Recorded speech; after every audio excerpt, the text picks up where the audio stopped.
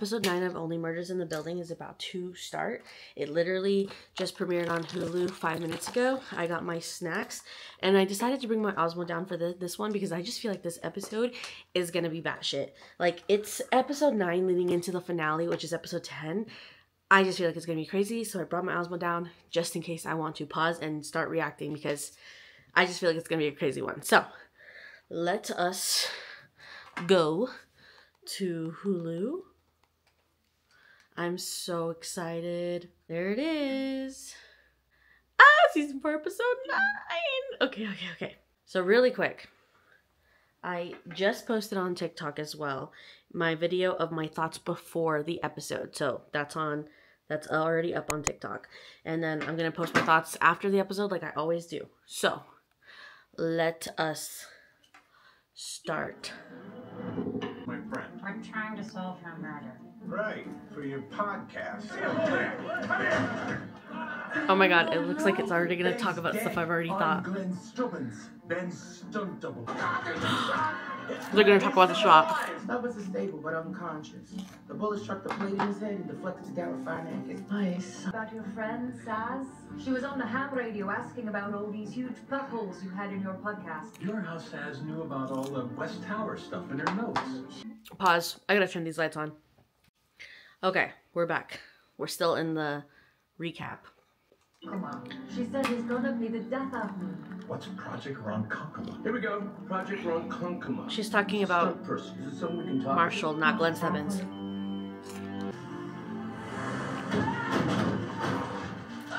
Is that Marshall? Is that Marshall? That in my advanced somersault intensive, which is in the winter. You ever stunted before? Oh, it's not gonna show. I swear it's Marshall. It's Marshall. It's gotta be Marshall. Excuse me, you can't go in there. This is cutting his navel. and of Not the bad accent. And it sure is good to know you. Oh, the accent's new. Did you murder a friend? You're not going in. That's final. Casually.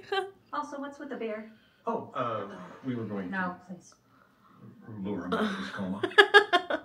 You thought the smell of beer would rouse him. Maybe. Oh, why? Not the Ouija board. So, Well, it's the bartender from Concussions. I knew oh. Concussions was gonna come back up. his protege on Project Ronkonkoma was giving her a hard time, and Glenn Stubbins ended up with credit on the movie. No. Glenn was brought in to replace Saz's protege. The guy fucked up so bad, Saz had to blackball him. So Saz ended her Okay. protege's career, and then Glenn replaced him. That's Okay, we're knocking this out in the beginning. So Glenn was never our shooter. He was another victim. Who was this protege? And what happened on Who is Project Ronkonkoma? I didn't know the guy. The only ones who know what went down are Saz, Glenn, and the director. Who was the director? All we have to do is track down the director of that movie. Bev? Who was? Ron Howard. Oh. finally a celebrity this season. Not all the celebrity cameos. Okay, so we knocked out in the beginning already that that it's not Glenn was the protege. I love that we knocked that out because now we can uncover more. Oh my god. Oh my god. Go Project Ronkonkoma. First professional fire stunt. Oh! All right.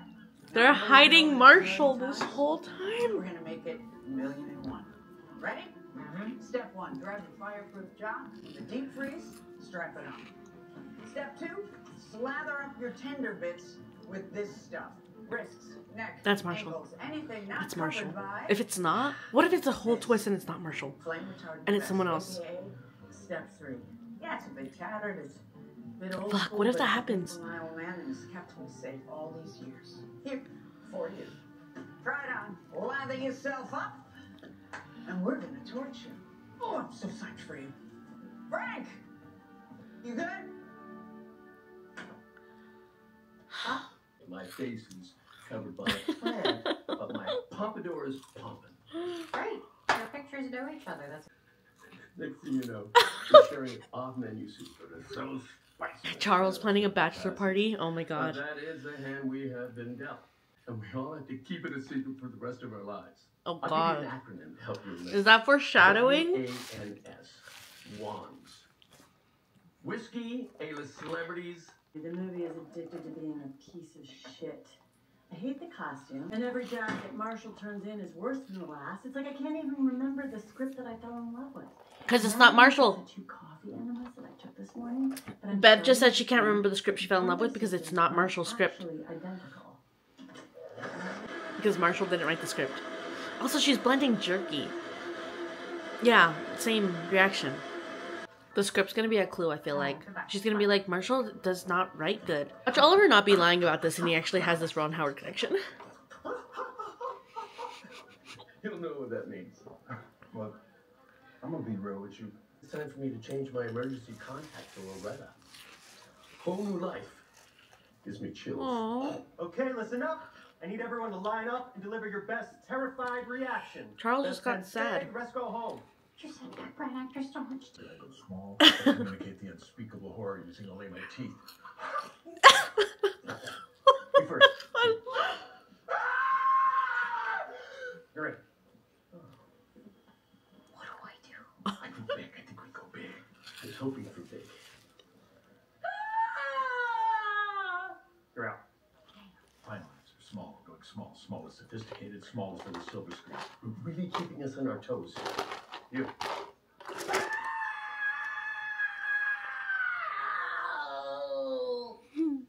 Thought we said small. That was my small. You're in. Oh, thank you. Oh my god. Brazos? So nice to meet a fan. I'm sure Ron will want to say hello. You're doing background now? That's so sad. You could be in the movie. You're still in the game. You're in. Charles didn't even have to do Wow, great, you're in. Head on over to wardrobe and makeup. Uh, pretty privileged, probably. Oh my god, that was great. That scene was amazing. Oh my god, Glenn's wake Glenn's waking up. Is someone gonna be there? Are, are you any angel? Relax. You're in the hospital. You've been shot in the head. Me. The heart. You had some friends come here earlier. A couple of married old men and their caretaker. They wanted to ask you about the stunt guy on Project Ronkonkoma. Yes, right. No, I, I, I need to talk to him right away. I'll let them know you're Right away. Oh, also, um, would you do me the honor of being Mrs. Glenn Stubbins? Eh. Also, I'm Glenn Stubbins. Oh. I'll get your doctor. Okay. He's gonna talk to them. Can I, I get a room without the rats? The rats thing, what is that though? Don't forget to take a deep breath before they light you up. Last thing you want to do is inhale flames into your lungs. And when the director yells cut, you stop, drop, and let him hose you down. What if it's then you take not Marshall? seconds before you do anything else in case you re-spark. Ready? Yeah, of course. It has to be him. Now go make my papa proud. Unless they totally are toying with us. Doing this for Sam is doing this for Sam. What is he wearing? What is he How wearing? is Ron Ron going to recognize me? that night in the Chinese restaurant, my set was distinctively not life-size Sour Patch Kid. And why do we have to wear spandex and Mabel only gets makeup? Well, because you guys are a bunch of clongos and I'm just a girl. Right, Klongos. I mean, I'm sorry, but what is this movie? Are we witnessing the end of Ron Howard's career? No, no, no. What I learned about Ron was you gotta just trust him. I told him, I said, Ron, Ron, you're the beautiful mind. And he loved that. He just plunked down the credit card and paid the whole soup. Oh my god, guys. I have to get out of here and get to the hospital. Glenn Stubbins is awake. Also, I'm gonna see if they can remove the part of my brain that stores the image of you in spandex. Uh, yeah. Oh, by the way, I've been thinking about your bachelor party, and I think I got a winner. Finally, yes, let's hear it. I hope the spandex and the balls inspired you. Okay, remember that hot dog restaurant we went to? And uh, there was a phone booth outside, but it wasn't really a. All right, just forget it. And you're not wearing this either. Back around. You're set. It's not Mabel. It's not Mabel. It's not. Mabel. Who is it? It's you. Oh my god. Oh my god. No. No. Oh my god. Oh my god. So A coded. No. All right, everybody in? No. Let's go.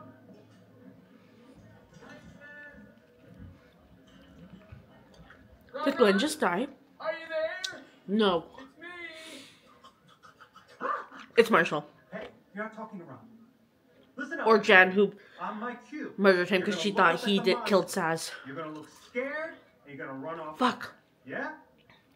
Great. I know. Oh my God. Acting choice. Follow my lead. Background. And are you tired? Don't let death be in vain. Monster! What the hell's the band? Charles, a little effort, please? Or is this gonna be my bachelor party all over again? Oh? Your bachelor party? Oh god, they're gonna fight on set. should pitch in. And they're gonna keep it in whatever Sunset movie this is. Watch for Oliver be like, yeah, that sounds great. Babar, Dumbo, or maybe the viral one who sat on the zookeeper's head. Because it really doesn't matter. Because no one is gonna show up. Because you are insufferable. oh. Who hired the idiots? Get them out and get a picture for my band list. The director has asked that you go home. Now. Sorry, Brazos. That's so Now, sad. you line up. Ron. Oh my god.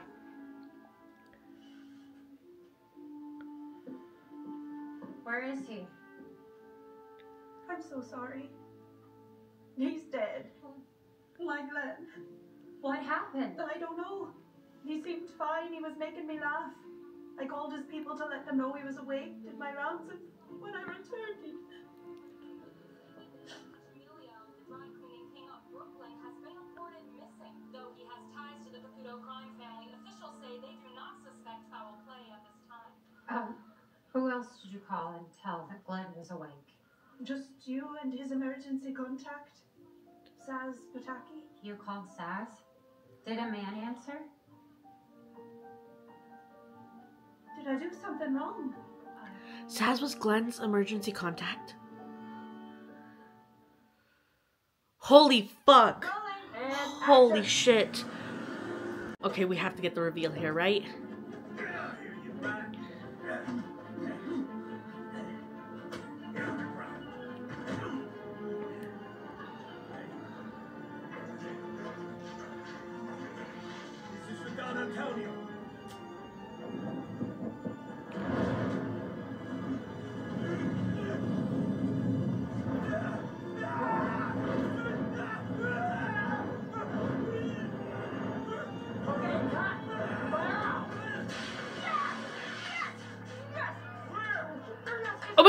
The same guy! I told you we'd do it. No. That's the same guy for the Ron Howard.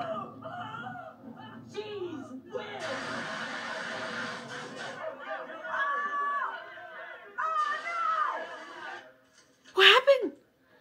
What happened? What just happened? You need a hand? No, no. Insufferable. That was really harsh. You're my emergency contact. Oh, What? But when I fill out forms, I put your name. And I know you used to put mine. But now it's Loretta's. that's why he got You sad. know, I always knew Mabel would one day spread her wings and leave, but you and me, I thought we'd, you know, grow older and die together. Uh, and don't get me wrong, I like Loretta. I I'm really crying. like Loretta. I'm But I'm kind of an awkward guy, third wheeling it on your dates. You know, saying, hey, split a dessert three ways.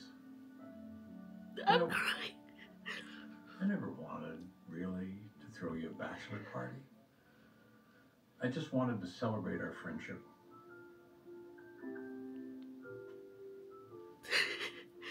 I'm, You know,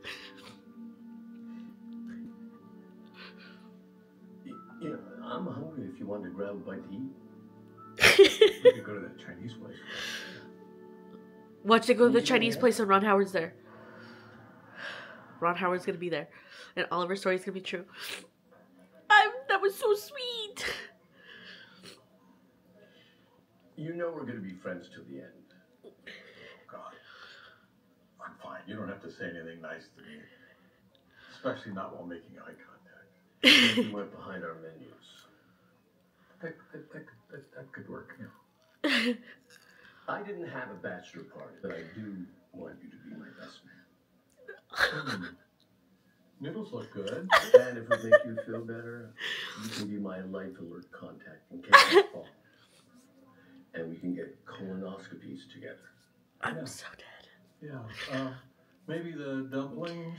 Can I get something to drink?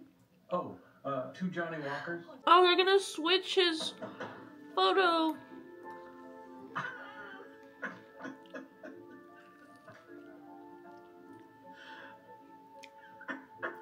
Oh. Nope, he's gonna show up. You? oh, okay, Charles. Uh, let me hide behind my menu until the awkwardness of this moment clears. Mm. I don't have a reservation, but uh, you know, table for one. You gotta be kidding me. the A-lister! You did it! Oh my God! It's you, Ollie. It's Ron Ron. Ron Ron!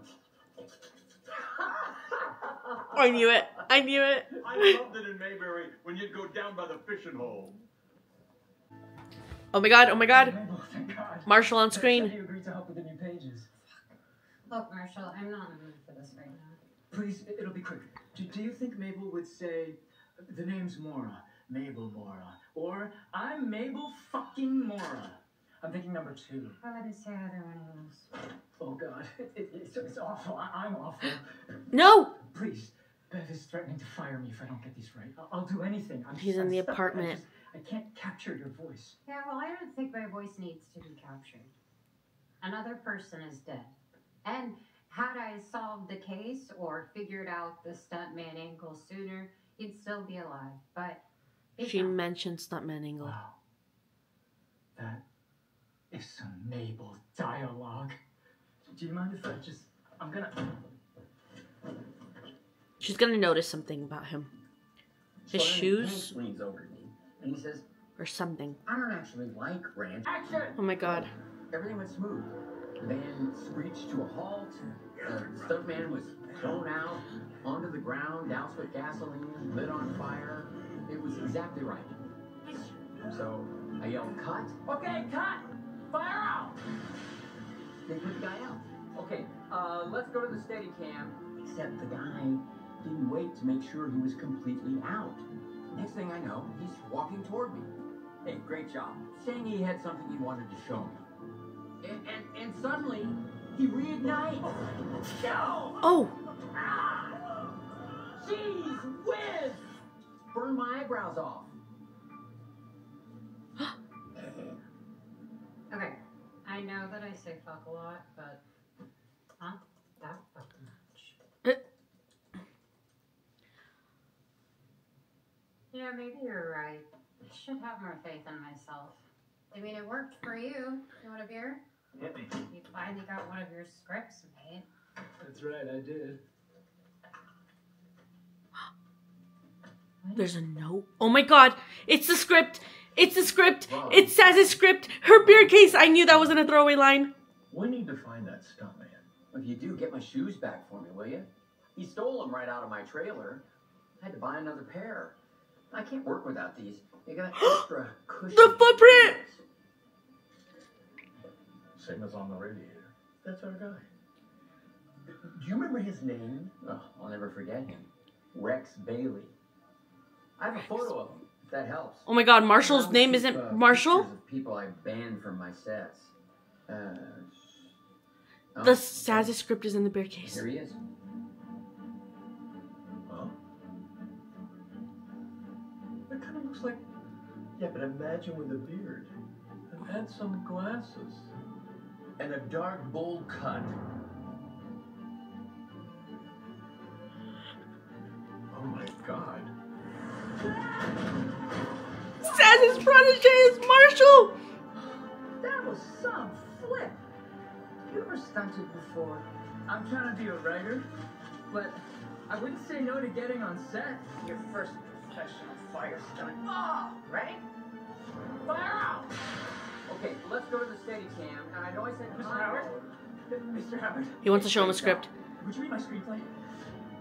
Ah, when did you go to beer last year? He killed him? Ah!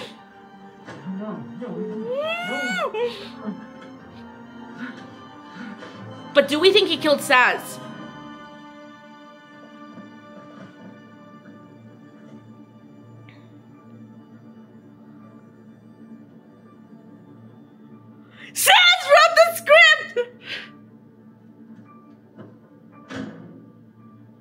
Mabel, get out of there.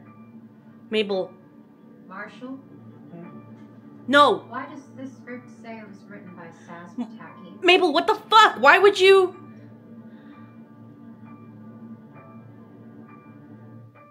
And her phone's right there.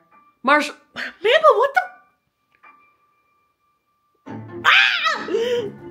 That's it. That's it. That's it. Fuck! I thought we had more. I thought we had more time. Oh my god. Oh my god. Oh my god. Dude, I was right. I was right. I was right. Ah! Okay, I gotta go film a TikTok now. Oh, what do you fucking know? Congrats to everybody. Spoilers, episode 9 only murders in the building. Let's talk about it. Congrats to everybody. We figured that shit out. Marshall was the protege. Saz wrote the script. I also reacted to this entire episode that I'm gonna put on here once I edit and get that footage, but let's dive deep into this, okay? Because I am so ready. Again, I knew this episode was gonna be crazy because the last one with the Westies and everything, I was a little bit mild, so I was like, this next one's gonna be insane. And it was. We got the Saz flashback that I predicted.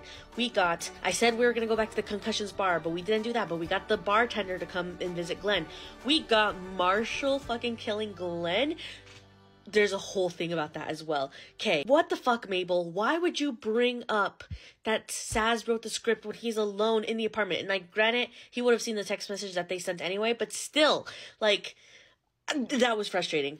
I just really want to touch base, and you'll see it in my reaction video, but the scene between Oliver and Charles made me cry. Like, that was so beautiful. I've been calling it, I've been calling it that Marshall's been so stressed about all these rewrites that he's been having to do all season. And I was like, they keep bringing that up. There's no way he didn't write the script. Saz wrote it. She wanted to bring her best friend back in the spotlight, wanted to bring Brazos and Charles back in the spotlight, and she wrote The Only Murders in the Building, the movie. We are one episode away from the season finale, and it's gonna be a big cliffhanger. I think someone's gonna die at the wedding.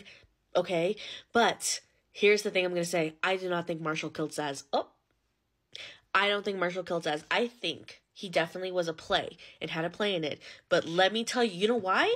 Because do you remember my name theory? My name theory that I brought up a couple weeks ago, and people think that I was crazy about it. Well the name theory still lives up because sure his name is rex bailey but like we didn't know that. So his whole time we know him as marshall p. Pope okay? So what are we gonna do? Look at this. And really quick to refresh you about the name theory actually season one tim jan three letters bunny poppy same as becky and bunny five letters. Um season three ben glenroy cliff donna Cliff, DeMeo, Donna, DeMeo, Bengalo, 10 letters. Every season, the victim and the killer has had the same number of letters in their name. Every season so far. Okay? Is that too big of a coincidence? And it works with their government t- name too. It works with Timothy Kono, Jan Bellows. Okay? It works. Mm. So, if we take my name theory that people are like, oh, I don't know, you're kind of crazy, you're reading into it, well, let's take a fucking look right now at who just passed this episode. Okay. So who passed away this episode? That right? Glenn Stubbins? Well, Glenn Stubbins has freaking 12 letters in it. Glenn Stubbins has 12 letters. Marshall Pope. that we knew him as Marshall Pope has 12 letters. Victim, killer. You're telling me that's not a that's a coincidence every season? So, this is why I believe Marshall Pope it either is Marshall P Pope, which is 13 letters, or Marshall Pope, which is 12 letters. Saz Pataki is 10 letters or Sarah Pataki is 11 letters. I think the killer, if my name theory is right, which it has not failed so far, the killer is somebody with a 10 letter or 11 letter name. Or there could be two, two more involved with that, and it could be, it could fit both. Okay, this is where we're gonna go into a little bit crazy stuff, and I need to make a separate video about this, but 11 letter name Rudy Thurber, Vincent Fish, Inez Oliveira. There's still other 11 letter names, but 10 letter name Helga Hanoi or Hanoi, however you pronounce it. Okay, okay. I think there's more to fucking Helga. There's more. I'm gonna make a whole separate video about this, so you guys are gonna hear me repeat myself. But there's more to Helga. First of all, her dad was a locksmith. She's a locksmith. She knows how to get into apartments and everything. I that's not a throwaway thing. It, there's no way it can be. Rudy says that it's hard to write on his abs backwards, and you know how obsessed I've been about that. Rudy left a note on Oliver's door in season one because the handwriting's the same. Well, what if Rudy actually didn't write on himself? And what if it was Helga's handwriting? And Helga's actually the one who wrote the note because Helga is also fucking sus. Another reason is because if you go back to earlier episode, I think episode three, when Eva and, and Mabel went to go confront Rudy, what happens? His ham radio goes off and is the theme to Perfect Strangers. He leaves. What's happening during that time? Howard is listening to the ham radio while he's watching the pig in Oliver's apartment while Oliver and Zach Galifianakis are out frolicking. And Howard's keeping a documented journal. And he told, when Oliver came back, he said, well, just a lot of people talk about the weather and the theme song to Perfect Strangers and blah, blah, blah. Later that night, when Oliver and Charles are in Mabel's apartment that's Dudnoff's apartment. They were talking about it and she was humming the Perfect Stranger song. And then they were like, What's that? And then she's like, Oh, I heard it on Rudy's ham radio. And then Oliver's like, Oh, the Perfect Stranger song? Wait a minute. He's like, Howard heard that on the radio today. And he looked at his notebook and they said, Meet Mira, 445. And they're like, What's 445? And they're like, It's a frequency. And they turn on the radio and they go to 445. And who's on 445? Helga! So if we put the timeline together, Helga was telling somebody during the middle of the day when all that stuff was happening to me on 445. And I think she was telling Rudy. I think she called Rudy's ham radio and told him to meet on 445 to discuss something. They lied that he was his girlfriend, but what if they didn't? What if they didn't? They the Westies, you can't trust the Westies. Either way, Rudy left to talk to somebody on his ham radio. Helga was on the ham radio on 445. She said the last person that was, came asking questions ended up dead, and she said, "Stop or you're next." Was that a threat, actually?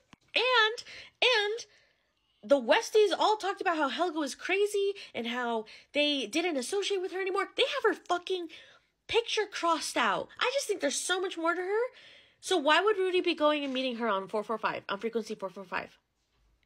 Maybe he's not directly involved in the murder, but I think there's more to her. This video is getting too long and I need to make a separate video about that where I'm going to repeat some of that, but I'm sorry. Just please tell me, am I crazy? Is my name theory still crazy? Or is it just another coincidence that it adds up that the victim and the murderer are the same? The twist it could be that Saz may not be dead. Saz might not be dead. Uh, J A N B E L L O W S. Jan Bellows also equals 10. She killed Timothy Kono. Timothy Kono, that's 10. I don't think she would have killed Saz. That would be crazy. This is a lot. This is a lot. But yeah,